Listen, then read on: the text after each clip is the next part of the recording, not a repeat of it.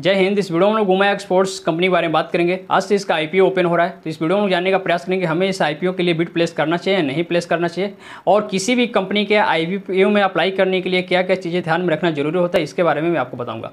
आइए वीडियो शुरू करते हैं। सबसे पहले देखिए, किसी भी कंपनी के आईपीओ में जब आप बिड प्लेस करने जाएँ तो हमेशा दो तीन बातों को ध्यान में रखिएगा। सबसे पहला कि कंपनी का बिज़नेस मॉडल क्या है, दूसरा कंपनी का फंडामेंटल कैसा है ओके हम शुरुआत करते हैं इसके बिज़नेस मॉडल से। देखिए, ये जो कंपनी है एक्सपोर्ट्स का बिज़नेस करती है। उमा एक्सपोर्ट्स कंपनी के नाम में एक्सपोर्ट्स लगा है। किस चीज़ का एक्सपोर्ट्स करती है? तो ये एग्रीकल्चर प्रोडक्ट्स बनाती है कंपनी जैसे गेहूँ, चावल, मसाला, दाल, यही सब कंपनी बनाती है और इसी का एक्सपोर्ट्स करती है, यानी कि विदेशों में अपना सामान भेजती है। और उसके अलावा कंपनी इंपोर्ट भी करती है, कुछ सामानें मंगाती भी है। बर्मा, कनाडा, ऑस्ट्रेलिया जैसे देशों से इसका इम्पोर्ट होता है। तो बिज़नेस मॉडल आप समझ गए। अब फंडामेंटल देखते हैं कि इस कंपनी का फंडामेंटल कैसा है। तो समझेंगे, इसमें मैंने तीन साल का डाटा लिया हुआ है, साल दो हज़ार और दो हज़ार इक्कीस का। इसमें आप देखेंगे कंपनी का रेवेन्यू दो हज़ार उन्नीस और दो हज़ार बीस में तो बढ़ा है, लेकिन दो हज़ार इक्कीस में रेवेन्यू में थोड़ा सा गिरावट आया है। इसी तरह अगर खर्चे की बात करें तो दो हज़ार उन्नीस और दो हज़ार बीस में खर्चे बढ़े हैं, लेकिन चूँकि दो हज़ार इक्कीस में रेवेन्यू में गिरावट आया है तो थोड़ा सा इसके खर्चे में भी गिरावट आया है। एक बात जब आप गहराई से देखेंगे तो आप पाएँगे कि जिस हिसाब से कंपनी के रेवेन्यू बढ़ रहे हैं कंपनी के खर्चे भी उसी अनुपात में बढ़ रहे हैं और खर्चा भी इसका रेवेन्यू से थोड़ा ही कम है। मतलब मान सकते हैं कि जितना कंपनी कमा रही है, लगभग लगभग उतना खर्चा ही कर दे रही है। कंपनी के पास आप गहराई से देखिए, कुछ ज़्यादा बच नहीं रहा है। और इसका जो प्रॉफिट है प्रॉफिट बढ़ रहा है। देखिए 2019 में 2.9 करोड़ का प्रॉफिट हुआ है और 2020 में 8.3 करोड़ का कंपनी को प्रॉफिट हुआ है। हालाँकि दो हज़ार इक्कीस में कंपनी के रेवेन्यू में गिरावट हुआ है, लेकिन उसके बावजूद कंपनी का प्रॉफिट 2021 में भी बढ़ा है। अब अगर एक नेगेटिव पॉइंट की बात करें तो ये है कि कंपनी के ऊपर अड़तीस करोड़ रुपए का डेप्ट है और यह कर्जा धीरे धीरे बढ़ते जा रहा है। इसके अलावा कंपनी का रेवेन्यू एक साल से गिर रहा है, यह आपने देखा। साथ में पाँच करोड़ रुपए का डिस्प्यूट चल रहा है इस कंपनी के ऊपर। इसका केस चल रहा है कोर्ट में। अगर कंपनी वो केस सॉल्व नहीं कर पाती है तो ये पाँच करोड़ रुपए जो है कंपनी को अपना पॉकेट से देने होंगे। यहाँ तक बात समझ गए। अब आइए हम लोग देखते हैं कि ये आईपीओ कब से ओपन हो रहा है, कितने दिन तक खुला हुआ है और इसका लॉट साइज़ और इसका प्राइस क्या क्या है, समझेंगे?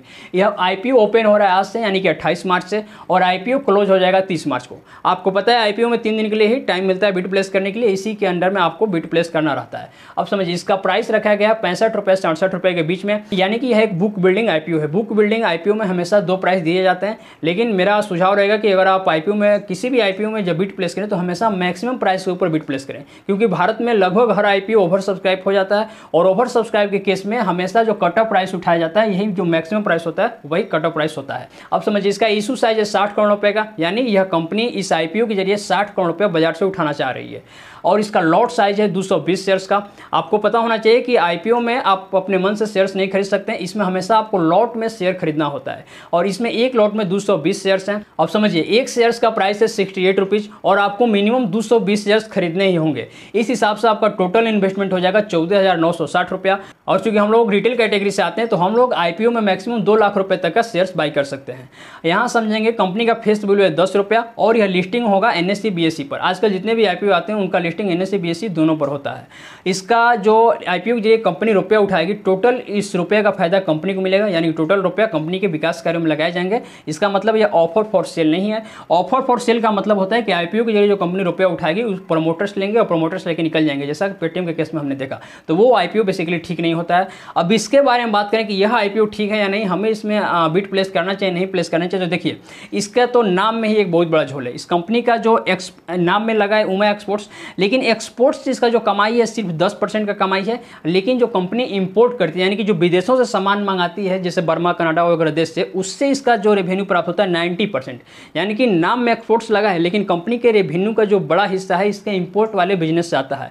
दूसरा बात, मैंने आपको कहा कि पाँच करोड़ रुपए का भी इसके ऊपर डिस्प्यूट चल रहा है कंपनी का केस चल रहा है कोर्ट में, ये एक निगेटिव पॉइंट है ही। और इसके अलावा हम देख रहे हैं कि साल भर से इसका जो रेवेन्यू हो रहा है, जो उसमें गिरावट आ रहा है। और अगर ओवरऑल बात करें कि हमें आईपीओ में, इस आईपीओ में बिट प्लेस करना चाहिए, नहीं करना चाहिए तो देखिए, एक तो जो कंपनी का बिज़नेस मॉडल है, वो कुछ खास अट्रैक्टिव है नहीं। फंडामेंटल भी कुछ मिला जुलाई है लेकिन भारत में जो आईपीओ आते हैं, वो कंपनी के फंडामेंटल पर डिपेंड नहीं करते। हैं आईपीओ डिपेंड करता है मार्केट में उसकी हाइप कितनी है, उसकी डिमांड कितनी है मार्केट में कितने लोग उसके चाहने वाले हैं। तो अभी तो इसमें तीन दिन टाइम बचा है।